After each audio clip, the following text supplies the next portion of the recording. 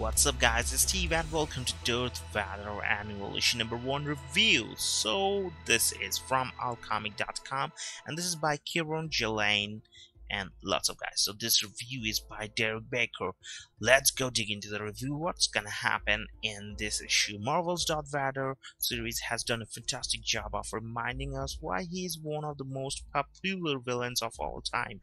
Saying that Darth Vader is a great character may sound cliche and redundant, but thanks to the prequel's portrayal of everyone's favorite Dark Lord of Sith, it's nice to occasionally remind us that things are not so bad. Like last week's Star Wars annual, the focus is on the Empire's iron grip on the galaxy. Darth Vader takes matters into his own hands by traveling to Shu Torun, a planet that needs to be taught a lesson. It appears that this planet's people are leaning towards rebellion. Obviously, Vader will have none of that nonsense.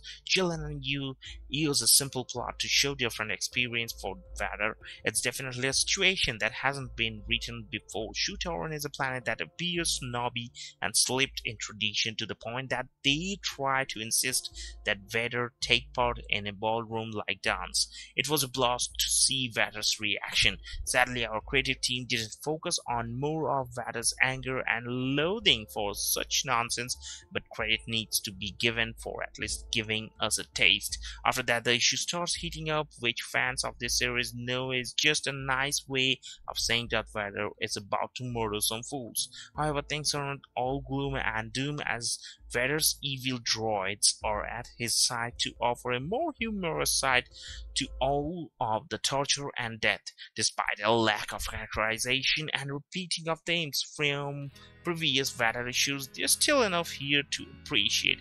Yu makes his Star Wars comics debut with some really good results. Backgrounds occasionally lack detail, but Yu make up for it in epic action and splash pages. His valor is much more about regal poses and powerful action stances, which adds certain flair to the story being told.